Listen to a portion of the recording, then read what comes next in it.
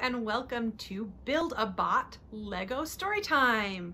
Today is all about robots. We are going to read some books about robots. We are going to look at some Lego robots built by other kids in the Boulder Library community. And then at the end, you are going to have some time to build your own robots out of Legos and share them with everyone else. Are you ready? Great, let's begin. Our first book today is called Little Robot Alone.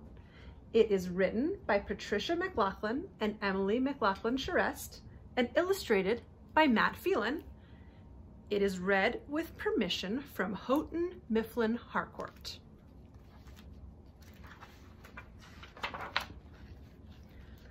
Little Robot lived in a white house on a green hill by a blue pond. Morning he put on his tracks. One by one, tight and strong, rolling, strolling all day long. He charged his battery. Zippity zappity, crickety crackety, hum, hum, hum. And he sang his cheerful breakfast song. Oats with oozy oil are yummy, slipping slowly down my tummy. Little Robot had a peaceful life. He watched the birds fly over his white house. He watched the squirrels race on the green hill. He watched the fish splash in the blue pond. But he felt alone. One night, little robot dreamed of a smooth, shiny shape. When he woke in the morning, he had an idea. First, he put on his tracks. One by one, tight and strong, rolling, strolling all day long. He charged his battery. Zippity zappity, crickety crackety, hum, hum, hum. He sang his cheerful breakfast song. Oats with oozy oil are yummy, slipping slowly down my tummy. Then little robot began. Here's my bag, an oily rag, pegs, glue, where are you? Battery screws, a handy wrench. I'll put them all upon my bench. Little Robot bent the metal into a shape. He used a screwdriver to attach the ends. He worked and worked and worked. Finally, on his bench was something smooth and shiny. It had four wooden legs and a button. Little Robot pressed the button. Nothing. Little Robot pressed the button again. Nothing. Little Robot thought hard. He had more to do. He rolled to his bag of treasures. He found two bright marbles, some soft wool, and a small broom.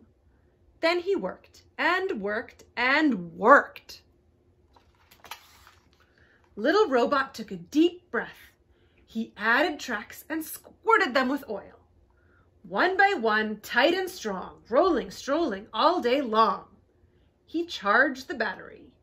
Zippity zappity, crickety crackety. Say it with me this time. Hum, hum, hum. His new thing shook. The broom wagged. Little robot jumped back. What did he build? He pressed the button and the new thing leaned over and licked little robot on his smooth metal cheek. Can you talk? asked little robot softly. Woof, it said. Little robot reached out and patted the smooth, shiny body. Welcome home, he whispered, my friend. What did he build? He built himself a robot dog for a friend. Little Robot rolled outside. Little dog is here, he called out. The birds flew down to see. The squirrels on the green hill came close. The fish in the blue pond had a look. Little dog sniffed the air. He watched the birds. He wagged his broom tail at the squirrels and the fish. As the stars came out, Little Robot and Little Dog rolled into their white house and under a moonlit quilt. Good night, Little Dog, whispered Little Robot. his friend was already asleep. Sleep happy, sleep well until the night's end, my good little dog, my good little friend. The end. Have you ever thought about building yourself a robot friend? Now's your chance. Would you like to see what some other kids have built? Let's take a look.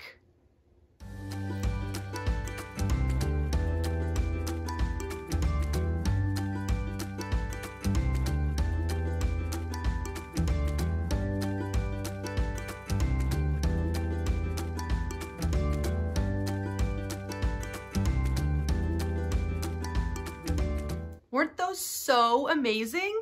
I can't wait to see what you build. Let's read another book, and while we read, be thinking about all the different kinds of robots you can build out of Legos. This next book is called Dylan the Villain, and it is by K.G. Campbell, read with permission of Viking, which is an imprint of Penguin Random House.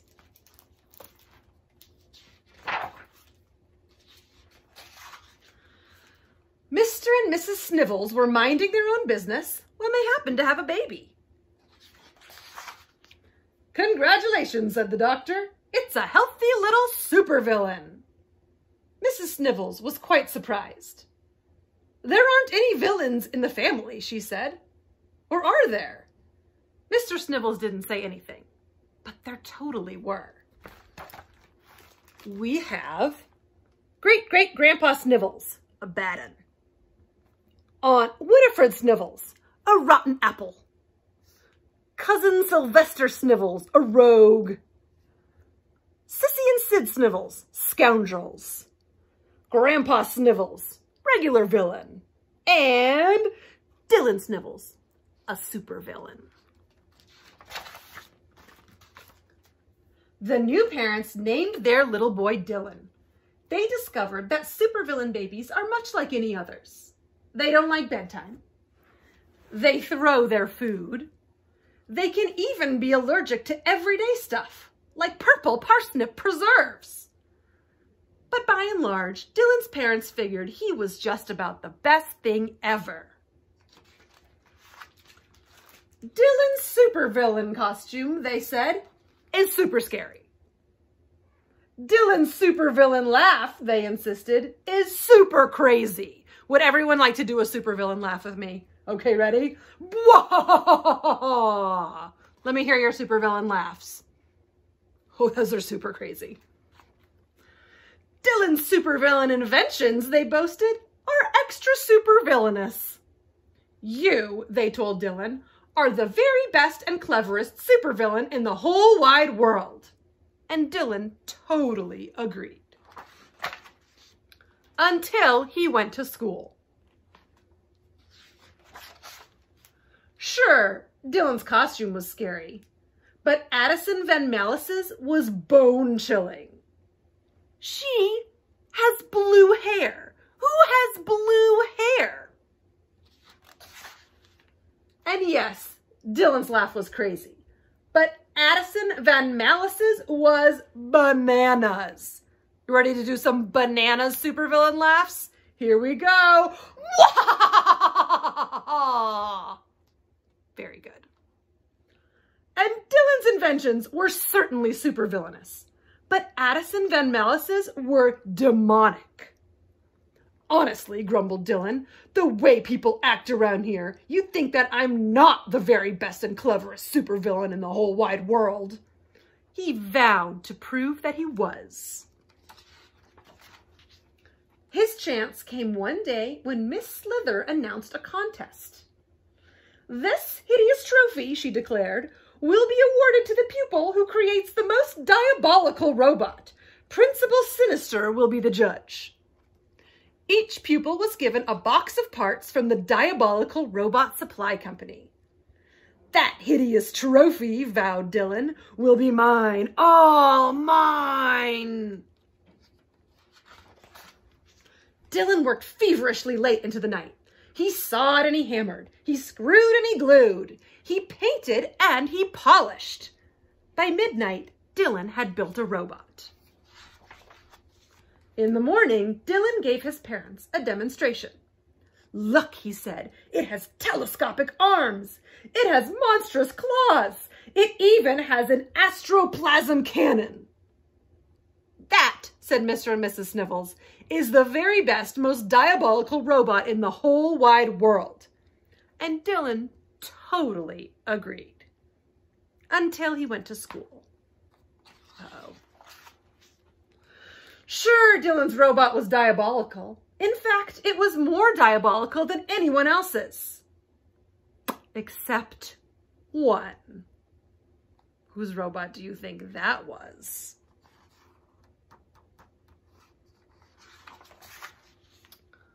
Look, said Addison Van Malice. It has titanium armor and evil laser eyes. It has a freeze ray and a shrink ray.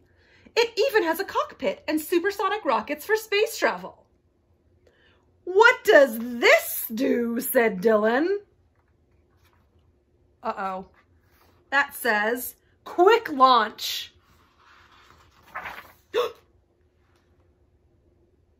Uh-oh. When Principal Sinister arrived, Dylan's robot was the most diabolical in the class. Where is Addison Van Malice? said the principal. We don't know, said everyone. And that was quite true. Dylan won the hideous trophy. It was a little sticky. But Dylan didn't care. He cuddled it all night. Unfortunately, the sticky, hideous trophy gave Dylan an allergic reaction. It was almost like someone had put purple parsnip preserves on it. On purpose. That, said Mr. and Mrs. Snivels, is the very ugliest, most uncomfortable looking allergic reaction in the whole wide world. And Dylan totally agreed.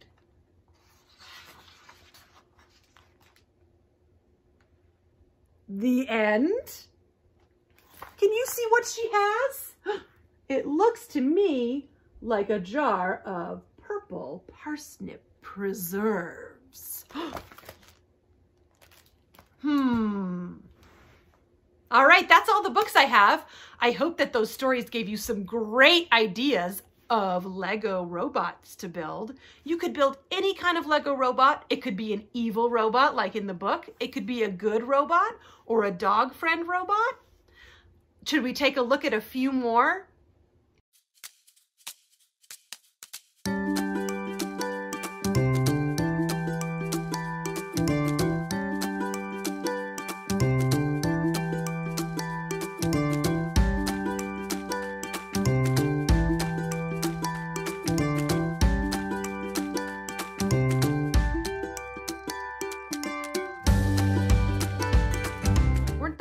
Robots? How would you like to put your robot online for everyone to see? So go ahead and get out your Legos, build your best Lego robot, take a picture of it, upload it to social media, and tag it with this hashtag, BoulderCSED. And that stands for Computer Science Education. So hashtag BoulderCSED. And if you click on that hashtag, you can find all the different Legos that everyone watching this program has made. I can't wait to see them. I can't wait to see your robots. Have a wonderful time building them. Bye, I'll see you next time.